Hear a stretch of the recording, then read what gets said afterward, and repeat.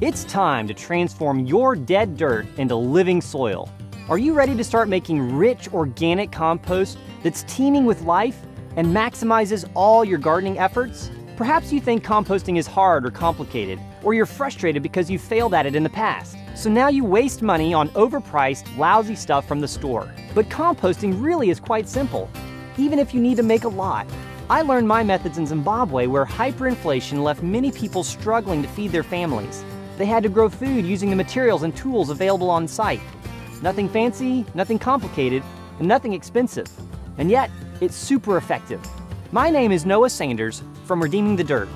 Come take my class at the School of Traditional Skills and you'll be successfully making compost in no time at all. And I expect you'll be surprised at how easy it really is. In this class, you'll learn how compost works, why it's important, and why all compost is not created equal. We'll go over various methods of composting, and we'll dive deep into thermal composting, which is the best method for the homestead scale. I'll teach you proven step-by-step techniques for homestead composting, all the way from the setup to the final product. And we'll talk about avoiding common mistakes and how to use your compost properly in the garden. By the time you've finished, you'll have the knowledge and confidence to make incredible compost for your garden. If you're ready to start creating rich, amazing compost and grow incredible food, then click the link to get started right away.